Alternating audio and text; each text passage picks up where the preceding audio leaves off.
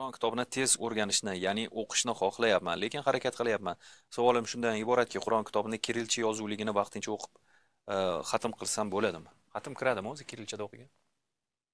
Endi kirillchada deganda o'sha harflar kirillcha e, qur'on o'qimoqchida tarjimasini aytmayapti bu yerda. Yo'q. Hmm. Kiril alifbosida yozilgan qur'onni o'qishni haqida gap ketyapti.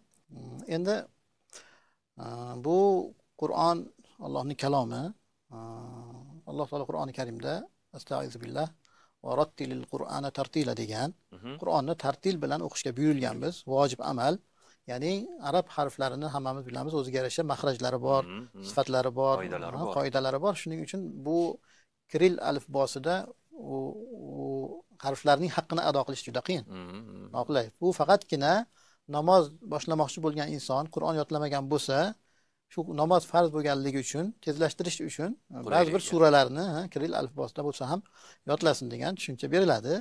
Lekin butun boshli qur'oni karimni boshidan oxirigacha kiril alifbosida o'qish tavsiya qilinmaydi. Yaxshi emas chunki bunda xato juda ko'payib ketib qoladi